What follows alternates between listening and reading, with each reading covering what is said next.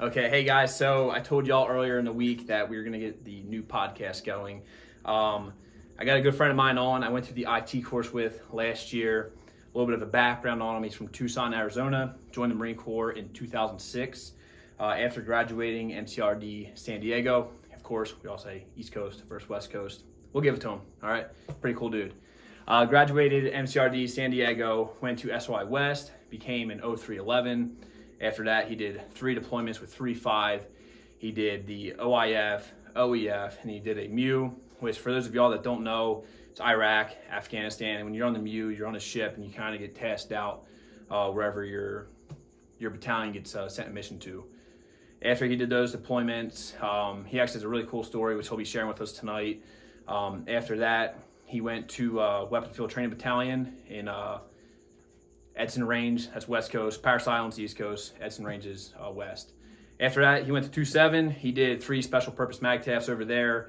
Um, that's where I actually, I 2-7 is where I'm at right now, so we have that relationship as well. Um, yeah, guys, pretty badass guy, and I can't wait to introduce you to him, so here he is. Here we go.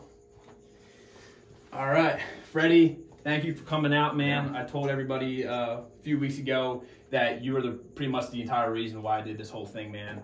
Um, hearing your story at the IT course, it made me just realize how many people have like badass stories that nobody ever heard before. And when I heard your story, I was like, damn, like that's freaking awesome. Um, while I was on deployment, I had a bunch of people reach out to me just asking like what the military was like. And I was like, my story isn't shit versus what you have. So uh, without further ado, man, just pick up the floor and kind of like give us a little background about yourself and go from there. Yeah, so I think you you first of all, thanks for having me out here. It's, I appreciate you. Your first podcast in the states. I watched your first one. Uh, you know, you said you got a lot of feedback off of it. Um, I think an hour. You know, you got the whole time thing, an hour plus, an hour minus. I think an hour is like perfect. Um, but yeah, thanks for having me out here. It means a lot. Uh, and then to be able to be at your promotion tomorrow morning, another Yeah. another big thing. I think I've never told you this directly, and I know you know this is your podcast, but I talk a lot about you, right? I've only met you. I only met you a year ago. You know, it's a little bit over a year ago at the IT course.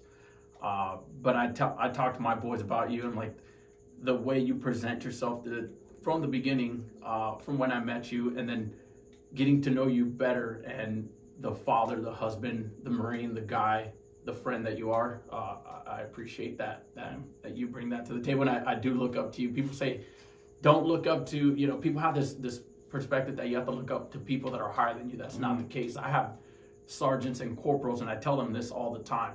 You know, I look up to you. Why? Because you're you're this great of a person. You you know you you do right and you take care of the the guys. So thanks for having me out here. Yeah, man, that means a lot. Um, like I said, like it's the door swings both ways in that, Yeah. man. Like when I heard your story, I was just like, dude, like talk about like going through some shit and like just pushing through it, man. And I think like a lot of people that actually message me, like I got kids that are like in high school and they're like, hey, dude, I want to join the Marine Corps because it's the most elite and like we all had that mentality. I talked about in the first podcast I Right. did. And hearing your story, man, like that is that definition, dude. Like you have some shit go on in your life and you didn't like I talk about like marking time on it, you know, like people like have a fuck up, have something happen in their life and they just stay sucked in that circle. And I think like your story is perfect, man. Like you hit it on the head. Like you had some adversity come your way and like throughout the years and like you just push through it and you're fucking you're a dude I look up to like extremely man. So Appreciate that. um, so guys, here's a here's a little background. So at the IT course, uh, it's the martial arts instructor trainer course. Uh, we do a little bit of a tie-in, and at the end of the day, each student is um, assigned to have a little tie-in. Well, Freddy, he had a, a story that he told in the entire class. When he told a story, he made it as if it was somebody else, and it, it had like grown-ass men in tears because it was that touching. And at the end of the story, when he uh, said that it was him, it, it kind of like moved everybody. That's why um, him telling the story right now, I'll let you I'll let you pick it up. Like how like you, you know you didn't tell that story for years afterwards, so I'll let you pick it up, man. Yeah, so the uh, when I was with three five, we deployed to Sangin, Sangin, Afghanistan. It's one of the bloodiest battles uh, that we've seen since probably Ramadi, Fallujah, back in the early 2000s, uh, right after September 11th.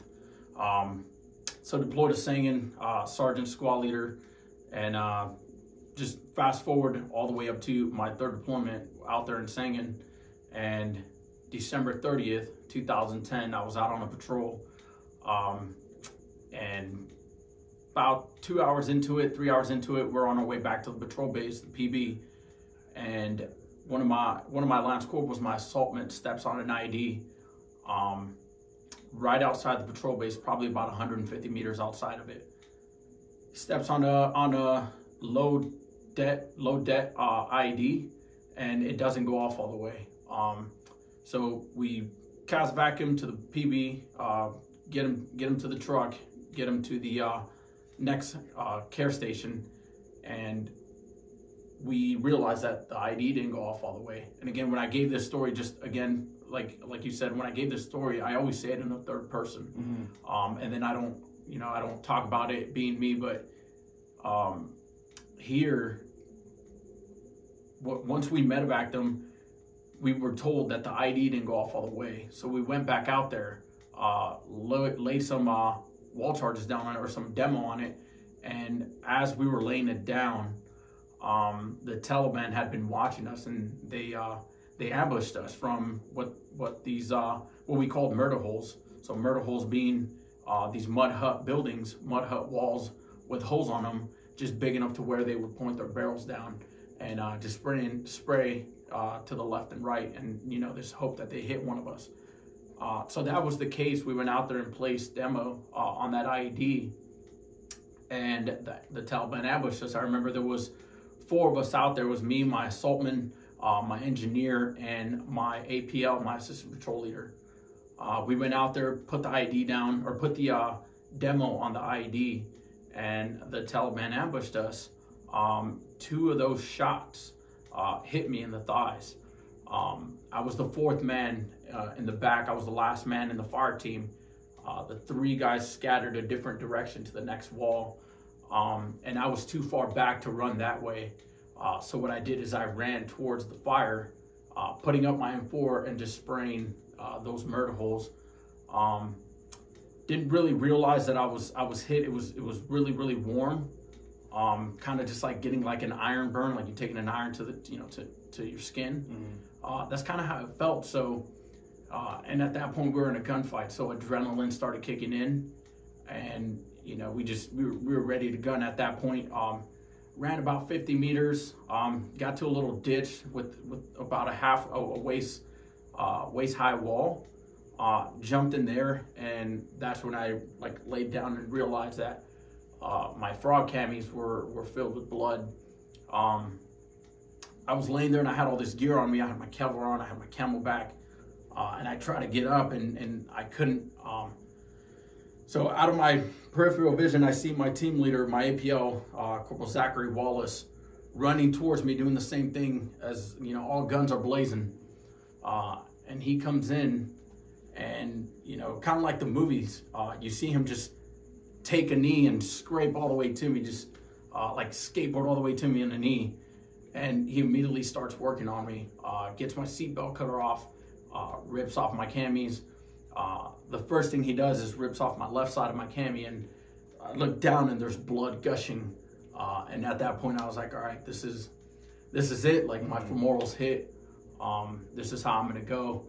Nope, that that that son of a bitch didn't let me. Uh, he put his entire uh, two fingers and then his fist right down on it uh, and stop the bleeding. Put the fist down, pulls the tourniquet off, applies it, cranks it, um, and I'm telling him to get off of me. It was the most painful thing I have ever gone through. Um, and then the next thing, he works on the right side, uh, does the same thing. Luckily, no femoral was hit on that side, but you know, patches me up and uh, starts calling out the next squad. Uh, you know, 150, 200 meters out from the patrol base, the Quick Reaction Force, the QRF, uh, gets called out. Um, they come out, you know, the whole squad is is out there, all guns blazing on this village. Uh, they just took out their squad leader, so uh, they're going to do everything in their power to get him out. Um, so that's that's what they did, and and here they are. The the next QRF squad comes out and puts me on a stretcher, um, and starts carrying me out. Um, Wallace, Zach Wallace, uh, coordinated the the counter attack while they picked me up. You know, he said I got on the radios. He said at one, two, three, everyone's uh, lighted up. We're gonna move him, and we're gonna carry him out. Uh, so he did that, and yeah, he, he coordinated the attack and the Casevac got me out of there.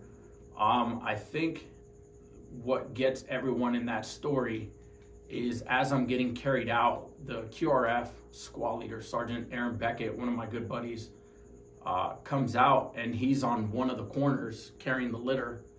Uh, and I reach up and I'm looking at him and I'm just getting carried out. And I reach out and in my mind, you know, I, I, I'm I'm fading away at this point. And I reach up to him and I say, you know, I reach out and I grab his hand and I said, tell my mom I love her and tell my boys I said I'm sorry. And I repeated it twice. Said, tell my mom I love her and tell my boys I said I'm sorry. Because at that point I thought I was, you know, I thought I was gone. And he pretty much told me like, dude, we're getting you the fuck out of here. Shut the fuck up. And at that point, it kind of just faded away. I remember them putting me in the truck. I remember the whole thing. Um, you know, getting put in the uh, in the uh, MRAP and getting you know the 15 minute ride to to where the helo landed. I remember getting to where the helo is, and I remembered everything like it was yesterday. Yeah. Um, you know, I got on, on on the bird. The Air Force picked me out. The PJs. Uh, their call sign is Pedro um, or Pedro, and um, they give they give everyone a coin. Uh, the way I remember that one, if you've seen uh, Lone Survivor, when Marcus Luttrell gets put on the bird, that's how I remember it, just being you know centered on that bird, and them start working on me, taking everything off, uh, injecting me with morphine. Um, and the last thing I remember being on that flight is one of the PJs took my hand, put a coin down on, and closed it and put it to my heart. Um, and I looked down, and before he closed my hand, I looked down, and it was one of the PJ coins uh, that says "Saved by Pedro." Damn, it's uh, yeah, it's, it's, a, it's a pretty badass coin. Put it to my heart, um, and you know, the next thing, it's all recovery after that mm-hmm. point. Now I'm just gonna like stop right there. So I remember in the course you were saying that when you made it back to the states, everybody pretty much was like becoming like naysayers, like, hey man, listen, you're not gonna be able to walk again, or you're not gonna be able to stay in the Marine Corps. And in your head, you're like, fuck no, like I am, like fuck whatever you're saying. I am gonna be able to walk again. I'm gonna be able to run. I'm gonna be full duty. And didn't you say something about like you made it a goal of yours to run like a 300 PFT or 300 CFT before your boys got back? Yeah, that was definitely one of the goals. Um, that's something I wanted to achieve. I wanted. There was a lot of naysayers. There was a lot of negativity that came from uh, the doctor personnel, uh, everywhere I went to on recovery, they said it's going to be a 12 to 18 month work or a 12 to 18 month recovery. Um, you might, you know, it was from that to you might lose your left leg. We might have to amputate it, um, which will put you on a medical board and retirement. Um, and, and, you know, they try to turn it positive. They said, you know, you're going to be making X amount of thousand dollars a month for the rest of your life. Uh, you're going to be taken care of. Sure, you're going to have a prosthetic, but we're going to take care of you. Uh, I wasn't done with the Marine Corps. Um, I had just reenlisted. Uh, my boys were still in Afghanistan. This was December 30th, so literally the halfway point of a mm-hmm. seven month deployment uh, is when I went down. So, yeah, they told me that I was, if I recovered, it was a 12 to 18 month, um, and you know, possibly lose my leg. So at that point, I took that as a challenge. Um, I took that as a challenge to to you know, completely destroy that. And it was a challenge, my challenge to run another 300 uh, PFT, CFT, but also um, to take my boys on a death run. You know, the, the, when they got off the bird, they got right? off the bird. yeah, when they got off the plane, and you know, I, I did it. Um, that's that was my goal, and I, I met it, and it was four and a half months. Uh, that was December 30th, and April 14th or 13th is when they got back. They got on the 96, and then came back and uh, we went on a little death run up uh, First Orange Hill. All right, so for like the because there, there, are a lot of uh, civilians that do watch the video and the comment. So when they hear PFT, CFT, they have no idea what it is. So uh, if you kind of want to talk about like, hey, like what what is your PFT? What is your CFT? Like what do you, yeah, what do you so shoot for? I can't I can't remember. We were definitely in PFT season. I can't remember if the CFT was even around in 2010 yet. But regardless, I know I came back the PFT, the physical fitness test. Um, now it's a little bit harder. Back then it was 20, 20 pull-ups, uh, 115 crunches in two minutes, and the the run the run time it still hasn't changed. It's still 18 minutes. Uh, for three miles. Anything under 18 minutes, it's a perfect score. Um, so that was the goal uh, to run three miles in under 18 minutes, get the 20 pull-ups, and do the 115 crunches.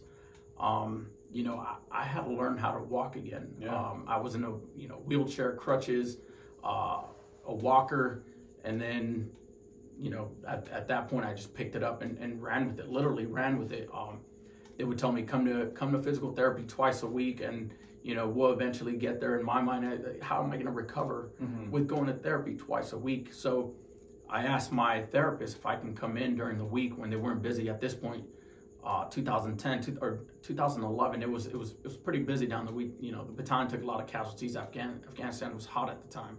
Um, so I went in there every day. Plus, I did my own workouts. I did the pull a lot. Um, you know, so I, I picked it up and I ran with it, and I made sure that by the time they got back, I was I was able to run.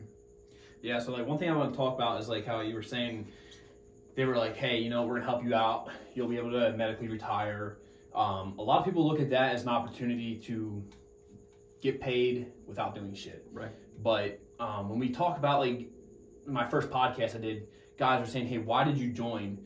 Um, as like cliche as it might sound, like people don't say, hey, I'm joining the Marine Corps to become a millionaire. Like you don't ever hear it because, quite frankly, in the military we don't get paid shit. No. So um, when some people will hear that mentality, hey man, you could have gotten medically separated and got paid. Uh, like I think that's like a prime example right there of like, hey, we don't do this shit for the money. Like in your mentality, you're like, no, like I'm not done. Like how old are you when that I happened? was 22, 23. Yeah, so 22, 23 years old. Like me, you're like still early in like your Marine Corps career. You have so much ahead of you. Um, and like at that point, like you're like, yeah, I'm not done. Like it's like right now, like I, I'm telling myself like with the shoulder, you know, the past four years I've been doing college. I've like I told everybody I in that video I took the ASVAB four times in order Right. to score.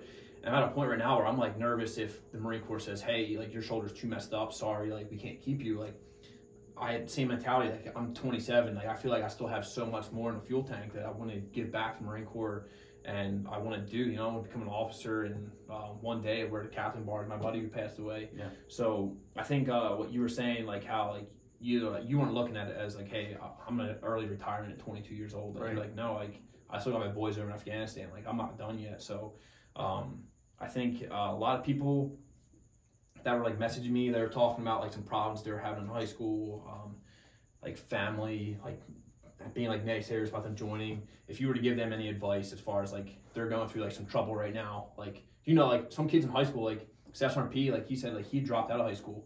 He had to do his GED, he had to study, and he went from dropping out of high school to he like finished top of his class in college. So if you had to give any advice to like guys out there right now that they feel like they're going through some shit, like what would you?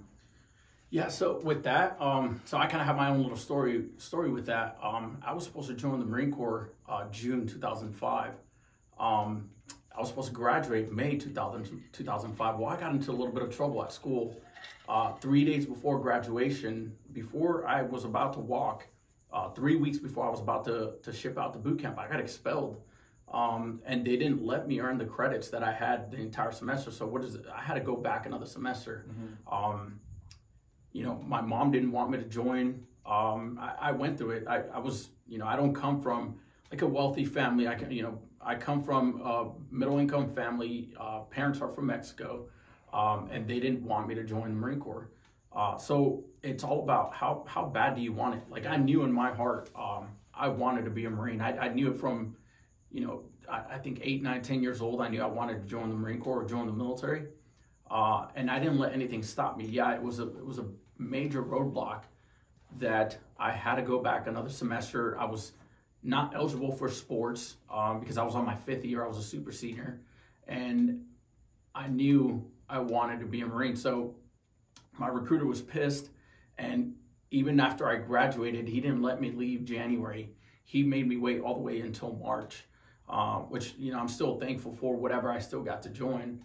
Um, but it, it all comes down to how bad do you want to be a marine? Like i wanted to i wanted to be on my feet up and running you know in four and a half months. Mm-hmm. That's that's what i wanted. When you set a goal when you set something in your mind it's just how bad do you want it? Are you going to wake up early? Are you going to stay late? Are you going to work through like lunch? Well, you know whatever it is. So i'm comparing that to my situation but for an, a 17, 18 year old, if if you have four years to dedicate to serving your country, and you know that's what you want to do, it doesn't matter what challenges come your way. You know, even if you've had a criminal record or whatever the case is, like there's ways around that to a certain extent. Um, so just if you want it that bad, you're you're gonna go out there and get it. Yeah. Now, um, another thing I want to talk about uh, is like you knew that your boys were still over in Afghanistan. Obviously, you're thinking about them; they're thinking about you.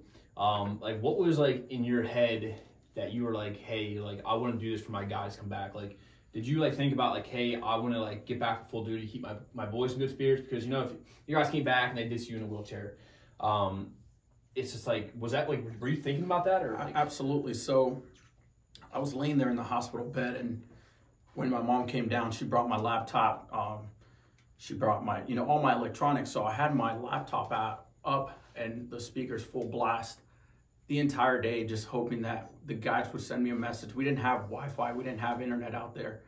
Uh, the only time we would have connectivity is when we would go back to the FOB, the forward operating base, uh, operational base. Um, you know, once every four or five weeks. So that's when I would hear from them.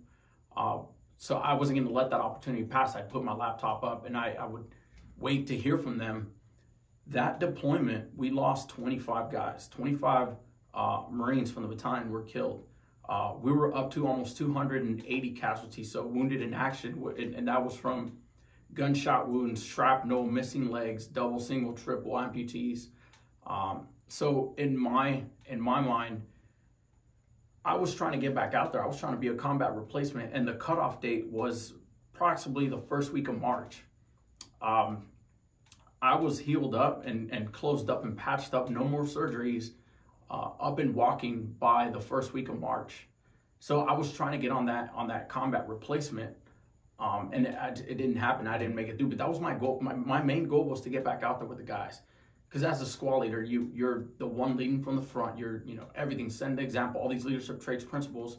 You're out there for your guys. Like, what is that mentality when your squad leader goes down? When you know it, it's not good. I was trying to get out there for for them. you know, what rank did you say you were? I was a sergeant at the So sergeant, like, I mean, you were talking about earlier on, you know, like when I was going through ITX and I had that stress fracture in my foot, like, Yeah. you know, like when you become uh, a squad leader and like, let's just say the other MOSs that there aren't infantry, like the, the sergeants that are out there, um, I think like that's one great point to bring up is like when you do become a sergeant and you start moving through ranks, like it's no longer about you anymore. You Right. know, like um, at least that's what I was thinking about my foot. You know, I was just like, dude, like yeah, my foot hurts. Like I was limping running up and down the ranges. Like you ask any of the boys in my squad or my platoon, like yeah, like I remember Sergeant Thomas running up and down range 400, like limping all over the place.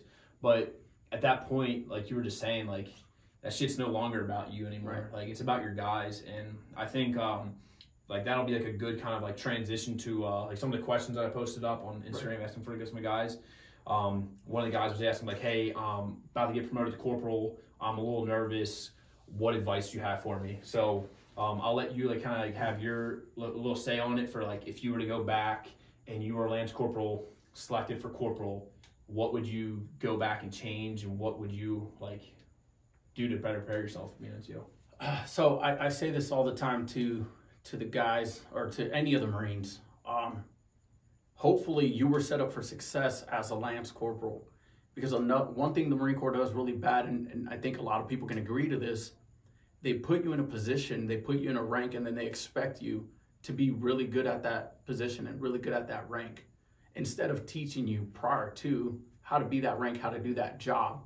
They put you in it, and you, you're not super successful at it because they never trained you to it. So, as a Lance Corporal, you you should already be doing everything a corporal does. You should already have the initiative. You should already be getting pulled back. You it's easier. It's so much easier to pull back, you know, the chains on somebody than to try to push somebody. So hopefully you're that little bulldog, not not like in a blasting way, not in a yelling way, in like a taking care of the guys and, and taking the initiative, stepping up, doing the right thing. That's to me like that's that's the the perfect corporal. When me as a platoon sergeant or whatever whatever billet I'm in and I'm looking at a corporal, I shouldn't have to tell you to go do something. It's like common sense. You know what has to get done throughout the day. You know the things that must happen, uh, and you shouldn't wait for me to tell you to do it. Just just take the initiative and do it. Um, Yeah, dude. Like, um, that actually reminds me. Uh, we were talking about Gunny Martinez earlier on tonight. Um, at the last month, we were sitting in Kuwait. They ran a TSULC, which is a team leaders course. You know what that is. Um, and that's like one of the points that he was talking about in his class he was teaching was you should be coaching, mentoring, teaching the junior guys under you to, to play to, to take your, your spot, right? And when they take your spot, you want to be better than you. Like if you ha- if you're a corporal and you have a lance corporal under you, you're trying to school that kid up. You're trying to like teach him to be the most badass corporal. So when you go on get promoted to sergeant or you PCS and you leave, and that kid is not filling your spot, you should be having him set up for success. So I think that's like a good point we kind of like talk about is when you are that lance corporal, and let's just say you don't have that perfect corporal that's ahead of you, because I think we both can, agree is that there are lazy NCOs out there. Absolutely. You have those dudes who are they have the mentality, hey, I'm EASing within a year. They drop the pack and like they don't think that they have these junior Marines looking up to them, and they do. Like these lance corporals, like these junior Marines are like hungry. Like everything you're doing, they're watching, and I think that's a, a good point. Is that when you are a corporal, you should be schooling that kid up to be the most badass corporal. Um, we had a kid. His name was uh, Lance Corporal McKenzie in one two. He was a junior marine. Uh, it was during my second workup with one two. I didn't make that deployment because I wound up PCSing to Parris Island, but I got to do an entire workup with these junior marines. And this kid, you know, like when you see, uh, like you see a spark in some kid, right? Right.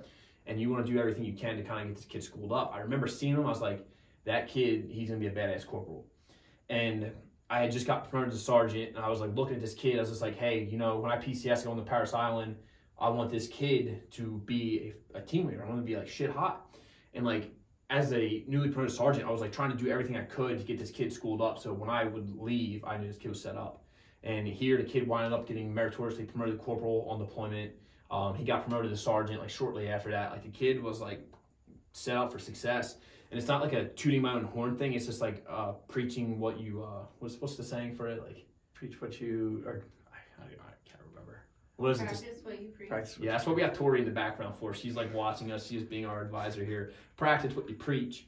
Um, like he's like a perfect example of it. Like it's like I said, it's not me trying to like toot my own horns. Like me just like doing like the practice what you preach. Like I tried doing everything I could to set this kid up, and he was. And now not only did I set him up, it's like now he knew what the right example was. Just like when he has junior marines under him, he now knows like, hey, like, this is what newly promoted Sergeant Thomas did, and like this is what I can do. That, yeah, that's right. And I'll, add into that. Um, d- just I'm to give broad, a little bit more broad uh, advice, but also, you know, you can take it and run with it. So the three things I say all the time is be physically fit, be good at your job, and be a good person. Like those three things will take you really far. Well, yeah, you can get in the weeds of every one of those, but if you're if you're physically fit, what does that mean? You, if it comes down to it, like Corporal Zach Wallace saved my life because he was physically fit. If you're good at your job, you know what you're doing and you're able to coordinate attacks and medevacs. And you know what? It doesn't matter. Fill in the blank MOS you can you can be good at your job and and save people's life.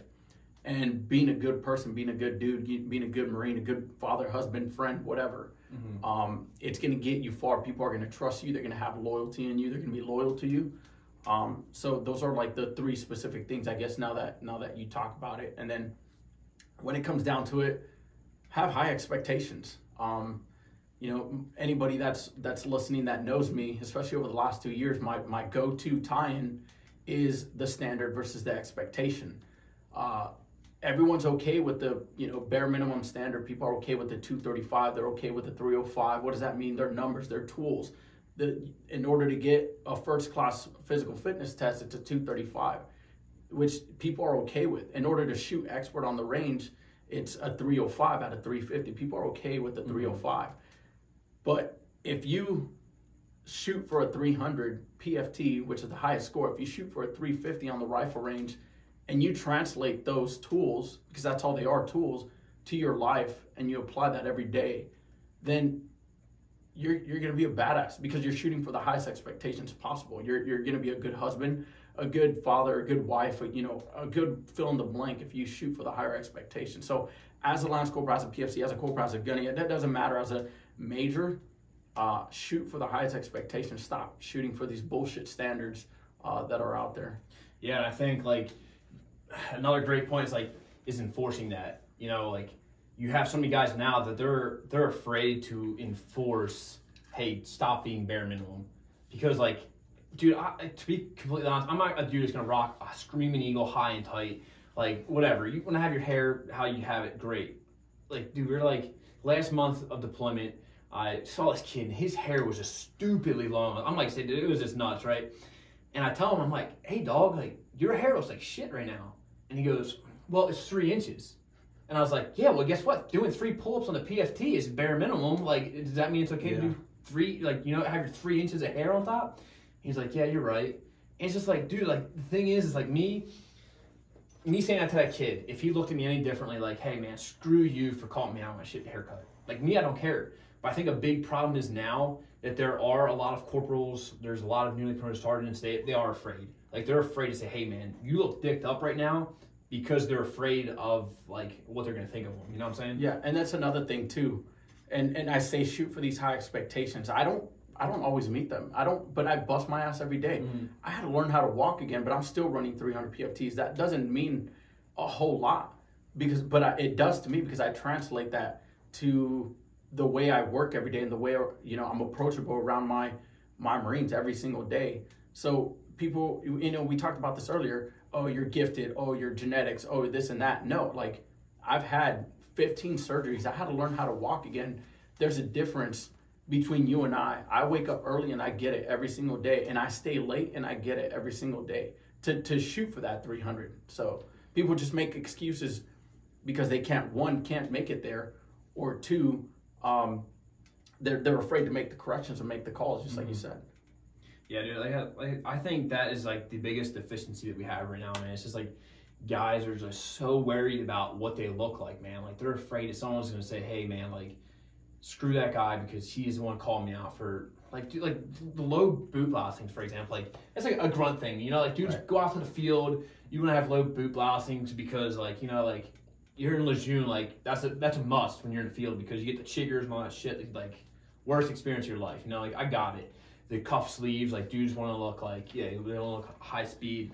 Um, but there, you know, there's a hundred percent like a time and place for that. You know, like when you're back in the rear here, like on main side, and like dudes are rocking out looking like that, and then when you are that guy, like saying, hey man, like you look dipped up right now.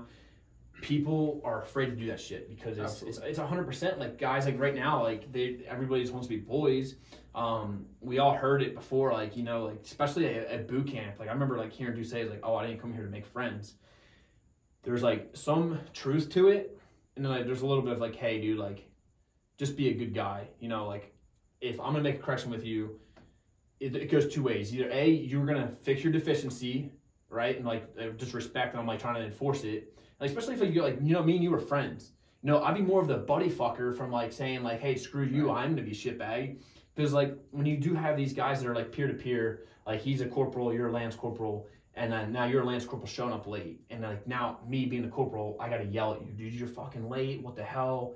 It's like not me like for being a bad dude. It's like it should be you. Like you're supposed to be my boy. You know what I'm saying? Yeah, and and I say that all the time. Um, you know, I have a broken record. I say this all the time, and and anybody that knows me that's worked with me in the last two years, I I have to come in and be the bad guy. I have to be the one that makes the corrections because I have a a sergeant, a corporal sitting there saw it, and I walk in and they're not making the correction. So I have to be the bad person. That's why staff NCOs are, you know, the the the devils, the evil. Uh, because we're the ones blasting people. Um, and I'm not like a confrontational person. I I'd, I'd rather not. If I need to correct somebody, I'm going to pull them aside and be like, dude, you're like jacked up. What are you doing? Right. Yeah. Instead, you know, behind closed doors instead of embarrassing somebody. And it's not me like, you know, babying somebody. It's like, no, that's, that's just not the right way to do it. Um, so that, it, yeah, that's that. Yeah, and like that's, that's that's that's like my biggest thing I always look at, man. Is like, is it me being a dick, or is it you being an asshole for like just not doing the basic Right. shit you're supposed to be doing? Um, I had a problem with that when I when I was in one two. Like I told you guys, I, w- I was a, a corporal coming from the security forces. Which like that's a whole nother conversation I could have later. I had some people messaging me, "Hey man, I'm coming from security forces, like going to the as corporal." Um, I told you about my buddy Sergeant Hanley. He's like, "Dude, just have a backbone, right?" When I went to one two, I never never forget. We did a UDP to Japan, and I went down. I told my squad, I was like, "Hey, we're gonna go down to the gym and we're gonna do squat PT. Just working out in the gym. Do your own thing." I was out front, like I forget the time. I said, "Hey, be out front zero six. six fifteen dudes come rolling up, and I start yelling at them all. Right, I'm like, what the hell? Like getting all on them. And my one boy was like, he apologized afterwards. Like, dude, listen, man, like, my bad. We had like, we made you have to yell at us. He's like, we showed up late. Like, that was my bad. Like, Right. like when you like look at it that way, like it's not. It makes you feel a little better. Like, all right, like I'm sorry, like I, that I had to freaking yell at you guys, but you, you guys kind of did it. Um, dude. So what we'll do now, uh, like I said, some of the guys um, on Instagram I put on there like just like for some discussion points. Uh, people were like asking some advice to give. Um, I already talked about the one like he's getting promoted to corporal. Um, a mom was talking about up here like up in the air like what their kids want to do. I think we talked about like really briefly like you know like that that you're in high school or you're in your first years of college like I think if you have any time in your life where you don't know what you want to do, I think like that's like perfect. You know, like it's a trial and error thing. Like I joined the Marine Corps. I was trying to do it like the year I graduated, but I wound up like hurt my foot. I had to wait a whole year. Um, but I think like that time in your life is like when you should be up in the air. You know, Right. like when you're like in your late teens, early twenties, opposed to like early thirties. You know what I'm saying? Like, so if you had to give advice to like the mom that's out there, right? Like the Yeah, mom, so- like saying, "What? Hey, my kids are up in the air." Like, So I said that earlier. My mom was completely against it. Um, you know, up until the day I left, our, you know, I'm from Tucson, Arizona. We had to drive two hours uh, to Phoenix to get dropped off uh, at the station at the airport so I can fly to San Diego. Uh, up until the day I left, she was completely against it. And then, you know, she, she you know, because I'm a mama's boy, 18 years at home, never left the house. You know, Hispanics are super close with their families. Um, so we, we, you know, we hugged, we cried, and I got on that plane. I graduated recruit training. She was there for that, and she has been proud of everything I've done to the point, you know, she has a, a, a wall up of, you know, my boot camp pictures. She took my uh, desert and my woodland cover. She has them hang them up. Everything I, I send her, she hangs it up. She she is completely proud. She's uh, she's put everything up, and like I said, I don't come from a, a like a, the greatest of a family. Um, so she was glad that I would, you know, I got out of the, the street and I didn't become what uh, my family, you know, older brothers are, um, or older brothers. So she's uh, she's very proud. She's uh, she's proud of what I've done. Yeah, so like long short, like just be proud. Like, you know, you're mom, like, you know, if your kid says, Hey, I want to join the military, like be proud of your kid wants to join the. Your kid wants to go off to college and do whatever. It's like just kinda let let them do their own thing. Like me and my uh my Aunt Shannon were talking the other day and it's like you have to like have that point where like you're starting to guide your kid where to go, but then you have to get to that point where like, hey, you gotta let them like kind of run free, like figure it out on their own, like Right. what they want to do. I think like the biggest thing, like people like have their kid join the military and they like the mom just instantly just like get into black. They're Oh, like, yeah. oh no, my kid's gonna go off to war, he's gonna Right. die. Um, like one thing like my mom says, like my brother does construction. You know, like you could fall off a ladder and get killed. You know, that you shit. You can drive to work and get hit in DUI. You know, like if you have that mentality, like my kid's gonna do something with his life, he's gonna die. You can literally look at that at so many jobs. You know, like shit, everyday life you can die. So it's just like if you're gonna like have that thing, it's like support your kid's decision. Like, hey, he wants to join the military. Okay, cool. The military, like I could say, like I don't think out of all the guys I met that I could say the military did them wrong, put them in a bad spot. You know, it made them worse. I think like the military, like shit, going to boot camp. I remember like waking up like 4:30, 5 o'clock every single morning. That shit sucked. But it gets the kid that never left the nest. It puts him into like a routine. He has a job. He has discipline. And I'm like, shit, you do four years, you, you do your time honorably and get out. And it's like, I can honestly say, I think a lot of people that do that, they have more good from it than bad. So, um, yeah, I'd have to agree, man. It's like, you know, if you're a mom out there, your kid wants to join, like, just be proud of them. Yeah, and I was I was just gonna add to that. It's not my mom didn't raise me, you know, bad. I, I was raised with good morals and good values. Uh, coming into the Marine Corps, I just picked up from that and ran with it because the Marine Corps does teach you, the military does teach you discipline. And again, I wasn't undisciplined. You know, I sure I got in trouble, uh, you know, a little here and there, nothing major. Uh, my mom raised me the right way. Still to this day, if I go home and I don't listen to my mom, she still beats me. So uh, I'm still disciplined. Um, I, I don't do anything she doesn't. You know, she I don't go against her. She'll still beat me. Um, so just coming in the Marine Corps, you know, I learned other values and other morals, um, and build off that work ethic that I already had. You know, I've been working since I was 14 years old, 14 and a half. um, and I just picked it up from there and, and, and ran with it. So just think of, of that perspective too. Your your son daughter, he or she is going to learn.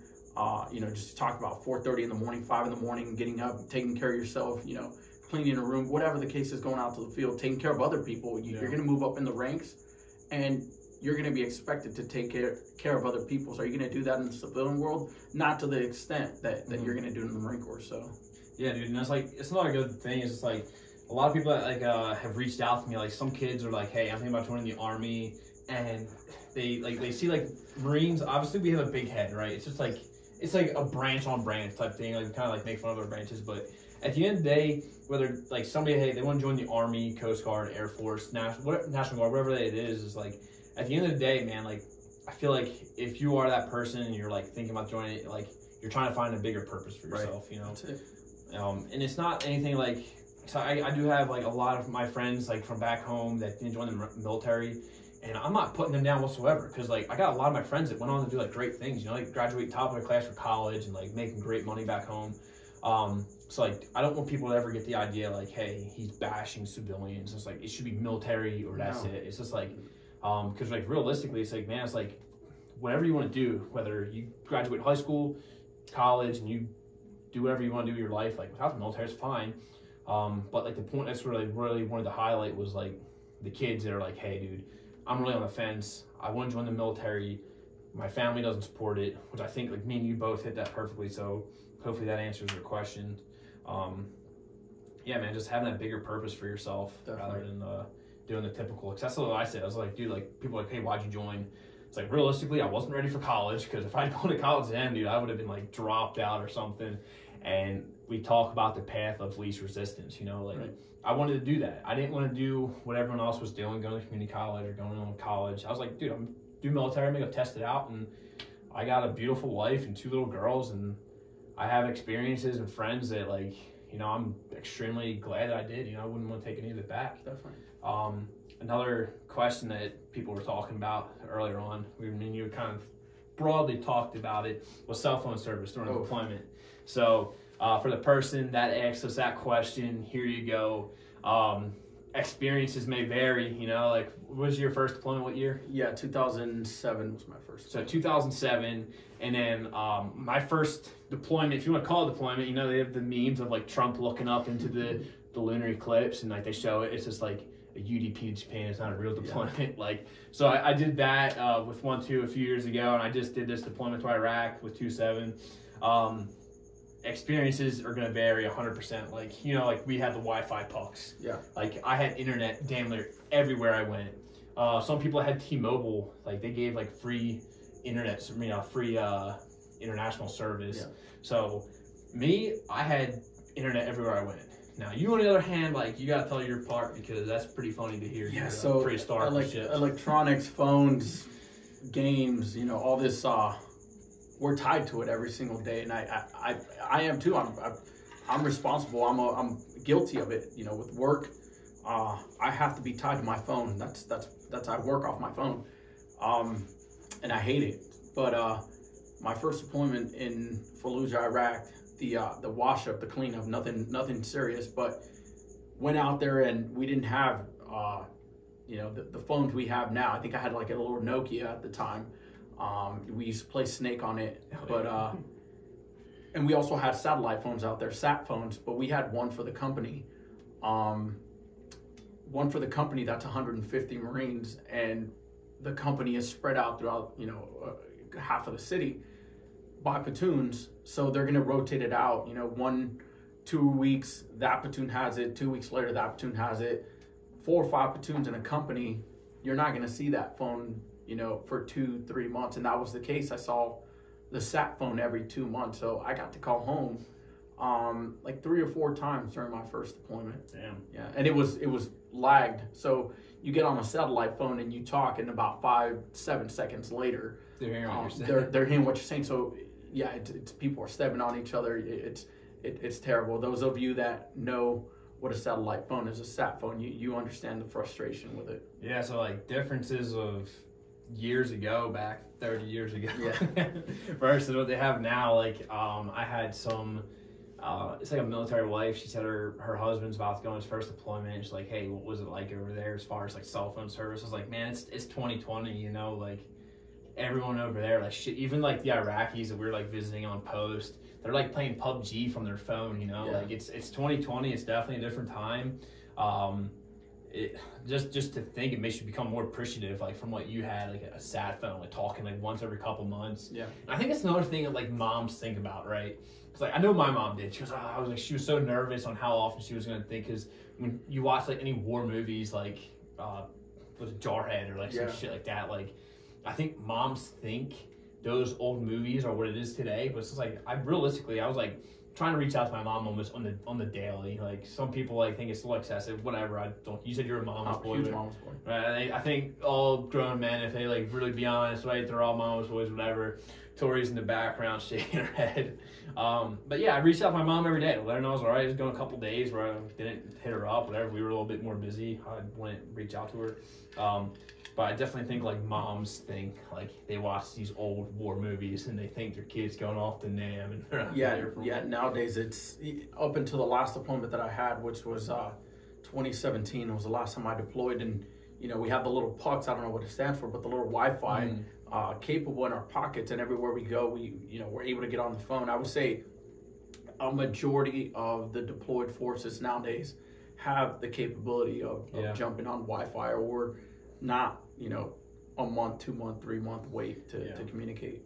I think the worst thing now is like if you're on ship. I think dudes Yeah. on ship like they have to email or something like that. So I was just thinking about that. The, the only time you're not going to have that capability is when, when you go on a MEU. Um, Yeah. and- So if you guys watching, they're like, "Bitch, I was on ship. Yeah. I had to email." Like, Yeah. you know, all right, man. We'll we'll touch base on that. Um, the other thing I'm talking about, like somebody asked, like, "Hey, how did the coronavirus affect us on deployment?" Which I'll kind of talk about that, and I'll let you kind of talk about like how it affected you back here.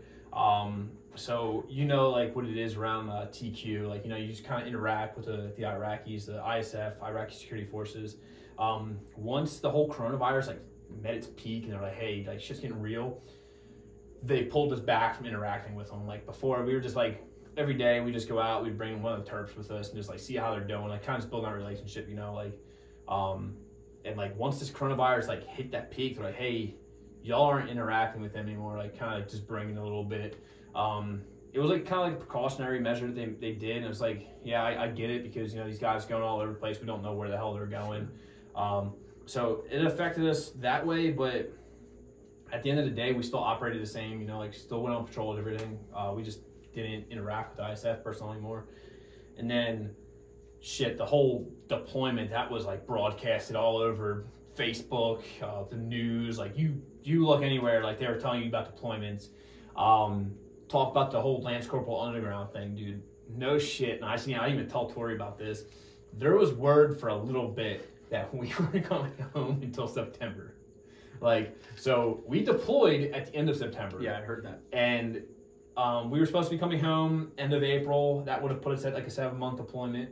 And then coronavirus, they're like, yep, no one's coming home. Um, y'all are stuck over there. And like the, the unit that was supposed to be leaving us, like, like think how they were, like, cause they had all their shit packed away. Like, they were ready to come on out. And like, yeah, y'all aren't going anywhere. You get to stay put. Um, and they over at us, like, yeah, y'all aren't going home. So like, it kind of sucked, um, not knowing when we were going home. Um, I kept telling the guys a month. I was like, listen, man, if I wasn't married, if I didn't have kids, screw it, man. Keep me over here for like a couple years. Like the pay was good, the chow was good. I mean, granted, I had a busted shoulder, I couldn't work out, but like dudes were able to hit the gym and everything. Um, but like people like ask about like families and, and deployments and shit. It's like it does suck. You know, you got a wife and kids back home, and like you know, you had a date set. Hey, I'm supposed to be coming home end of April. I'm ready to see you, and it turns into I don't know. Like that was probably the worst part about it. Um, luckily, um, when the shoulder like, so I was benching 405. I told you earlier on, like just being retarded. It wasn't even for like a competition or anything. I felt a rip happen in it. Um, so months go by. It's scar tissue on my chest. The MO thinks it's torn two spots. Um, the battalion was like, "Hey, we're gonna get him home so he can get his quarantine done and get the shoulder taken care of right away." Um, which I'm finally getting that taken care of tomorrow. But granted, if this shoulder wasn't messed up, I I don't know what main body it would have been on. Like, so I guess it was a blessing in disguise that Right. the shoulder's messed up. I got I got to come home first. um, wife and kids. It was great seeing them. So other than us not interacting with the Iraqis anymore and getting held up, that's what how it affected us. And you kind of talk how it affected you guys. Uh, so where I work right now, or what I do, something a collateral duty that I do is, uh, and I, I've, I volunteered a lot for this. I put myself out there, but the corporal's course. So uh, the corporal's course, the last couple seminars, the martial arts instructor courses. Uh, that's probably been the best thing I've I've done in my unit now for the last two years. So as soon as that came about, uh, COVID came. I was just about to graduate. You know, I was on my last week of graduating my fourth corporal's course since I've been there. Um, and we got told that last week, week three, week three of the three weeks, you can't have a graduation, you can't have a mess night, and you're not doing any more PT. Just test the guys out, whatever they have to test out, and graduate them. So in, in my mind, I run a pretty uh, rigorous uh, corporal's course. They, they, I run it just like a advanced infantry course with the corporal's course POI. Um, so in my mind, everything that I've done to that point, these these corporals graduating weren't going to go through the same experience that I had graduated the prior courses, and they knew that too. The, it, it's kind of like a, a, a sense of, of accomplishment at the time right now. If you didn't go through this corporal's course, you really aren't a corporal. That's the mentality there. So the guys were expecting to get slayed at the culminating event, which is about ten hours long. Um, and they took that away from them. We weren't able to have a mess night, and you know everybody was bummed out about it. I explained to the guys, um, your corporal's course was really, really different in, in, in many ways. The COVID COVID hit. Uh, I was able to bring uh, Sergeant Major Canley in, Medal of Honor recipient, uh, and talk to the students. I was able to bring in uh, Corporal Josue Barone, a Purple Heart recipient, uh, uh, single amputee, so what I'm saying is they they were able to get a different type of corporal's course, but they didn't get the back end of it. Yeah. Um, which was fine. They they had a lot more during that first two weeks that I you know I was able to get throughout the last courses. Uh, so they they shut us down. We were able to get a graduation in, but it was it was just the students, the staff, and uh, our guest speaker. Yeah, that's that's shitty, man. Because they ran a corporal's course for the dudes. Um, so y'all know like we did our time in Iraq, and then we left, went to Kuwait, and we sat there for like the past like month and a half. Um, so they ran a corporal's course for the guys out there, and they also did the uh, TSULC. Um, they asked me like, "Hey man, do you want to be an instructor for a corporal's course?" And at the time, there I was I was already going to be an instructor for TSULC, and I just picked up another college class. So I kind of like waited out. I was like, "All right, I'm to do this this college class right now. It's like a biology class. It's kind of like shitty, whatever." Um, but then I looked at it like, would I rather influence the Marines that are in my company at the Lance Corporal level or do the Corporal's course? And I knew that if I was going to do the Corporal's course, I wanted to be 100% like devoted straight to that. You know, I didn't want to have the TSULC going on. I didn't want to have college classes. I wanted to give 100% into it. So, yeah, it's just weird like to look at like two different sides of it. Like you had Corporal's course running on over there in Kuwait, which um, it's a lot different from what you were saying, man. I watch your videos, dude. Yeah. It's, you run it. It's dude, that's awesome, man. Biggest Like, slate, definitely. it's like one of those things I was talking about, like having like I posted a picture the other day of like Bridgeport. It was like a on my time hop from like five years ago or something. And I was like, it's a great shitty experience. And I was Yeah. like, who can relate? And it's like hundred percent. Like when dudes are getting thrashed and shit, like they hated it at the time, but afterwards they're like, dude, like I absolutely loved. it. I did that shit. So Yeah. um, all right, so we'll just we'll finish up here in the last couple questions. Uh, someone's asking like where I would want to go for a next duty station. Um, we already know you're gonna go be a drill instructor, running and screaming Oh, yeah. at San Diego, which is badass. Um, I don't know. Uh, Tori, she wants to go to Quantico. Like she wants to go back on the uh, the East Coast. Um, which is weird. We were talking about tonight how like 29 palms weirdly grows on you. Like, Very. don't know how or why, but it just does. It's like it's its own little place here. Um, but man, as far as like a duty station, like Quantico would sound nice, but like it's so born and raised New Jersey. The people up there, like it's just, it's a different breed, man. Like the North, right? Yeah. I love it. I'll visit every chance I get. I was like, I normally go home every summer. I love visiting Jersey, but it's not a place I'd want to move to. The traffic is insane. Taxes are higher. You got tolls, right? Small Oh, funny yeah. story. I'm going to talk about the toll. Got stationed down in Georgia. I was going into Jacksonville, and the very first time I crossed over a bridge, I was freaking out because I was driving my truck. I was like, "Shit, I don't have toll money." Like, I actually like almost pulled off on the side of the road, freaking out, looking for toll money. And then I'm like, "All right, whatever. I'm just gonna tell the guy I don't have money." I go over to the bridge and there's no toll. I was like, "All right, man, the South's pretty nice." Uh, so yeah, long story short, man, I, I don't like the North too much. Um, Tori, she said she would want to go to Quantico, so happy wife, happy life, right? Yeah, she shook her head, yes. Uh, but like me personally, I love the South, man. Like being a PMI down in Parris Island, like that was like by far my best best job I had. But if you had to pick anything other than being a drill instructor, San Diego, where would you go? Let's see. Yeah, you, you talked about it, um, and and we talked about this earlier. Any anywhere you go, I I, I kind of think I want to come back to Twenty Nine Palms. Uh, and and people ask me all the time, what was your you know your better duty station was? Because I've been with two infantry units, three five and two seven. So they asked me which was a, which one did you like more? And I said I've gained and developed and grew at every battalion and every company I had um, or I was with, and the difference between three five and two seven Pendleton and twenty nine Palms is when you're in twenty nine Palms, you're stuck. Uh, you're you're there, so the camaraderie and the cohesion is a lot tighter. Yeah. Um, if you're gonna go somewhere, it's three hours away, which is San Diego, LA, and Vegas, uh, and you're gonna get with the boys and go, but you're not gonna do that every weekend. It gets expensive. Um, in San Diego, it's all there. In Pendleton, it's all there. It's, it's, it's a distraction. So people get off work and they go to the beach. Here, you get off work, you're with the boys. Uh, Yeah. You're stuck at the barracks, or you know, you're here at Twin Nine Palms. So I, I love both duty stations. I don't want to go to North Carolina. I don't want to go anywhere, anywhere on the East Coast. Um, so I- weirdly enough, I would say 29 Palms would be where I would want to come back. Yeah, man, it's. I hear you, dude. It's just like the other night I was out here drinking. I was just like, dude, it sucks because like when I was in Parris Island, I was in a platoon of sergeants. We all like would do we'd work our ass off during the week, you know, pushing platoons, uh, uh, recruits for the range. And like on weekends, we just let loose. And it's like here, dude, this coronavirus, like I can't even hang out with the boys right now because they're all stuck at the barracks. But that's exactly what it would be, man. Like you know, the work week is over. We don't have anywhere to go. Like like uh, one of my boys, it was his birthday today. Um, Valentina came and brought him a cake and shit. But we were just saying, man, like really, we really wish the shit wasn't going on because you'd be over here drinking. But Yeah. I hear you, dude. Like nowhere to go. So yep, let's go hang out with the boys tonight. Um, all right. Last one, uh, how to be a good dude. We kind of talked about it a little bit.